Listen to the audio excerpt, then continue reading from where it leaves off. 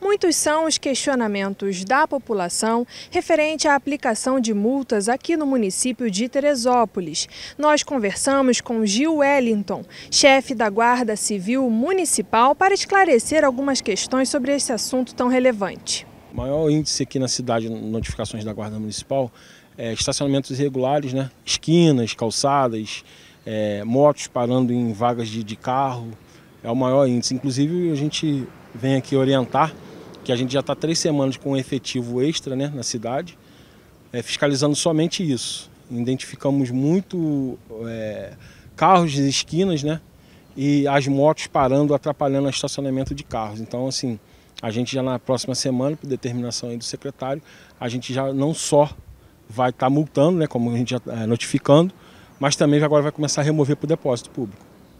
Da região serrana, segundo alguns dados, é, Teresópolis é a cidade com, que menos multa. Isso significa que aqui os motoristas são mais educados ou seria necessário um efetivo maior? Não, a gente identificou aí, né, em estudos até do Detran, que as cidades aqui a gente está com uma, um índice baixo, né, entre aspas, de notificação, porque o município não disponibiliza ainda de, de é, notificações eletrônicas, né, radares, é, sinais fiscalizando aí também por radares, então isso diminui muito aqui. E as outras cidades como Petrópolis e Nova Friburgo, elas têm esse sistema né, de fiscalização eletrônica. Então isso aumenta, eleva muito as notificações. Mas se a gente avaliar entre notificações de agentes, né, Teresópolis aí sai na frente porque é uma guarda que fiscaliza. E muitos ainda falam que somos indústria de multas, então não é. Você que fala isso é só parar certo no local autorizado que não vai ser notificado e não vai entrar nessa estatística aí de carros irregulares errados na cidade.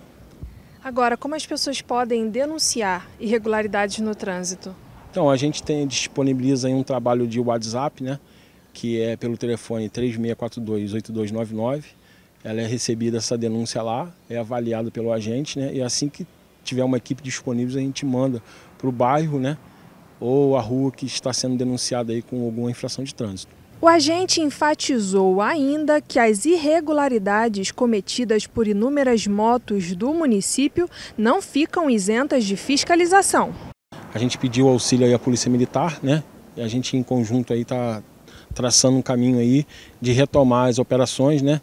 E focar nesse público aí que vem vandalizando né, a, a, o, o, município aí, atrapalhando aí a cidade aí com, com essas bandalhas aí na cidade aí com as suas motos.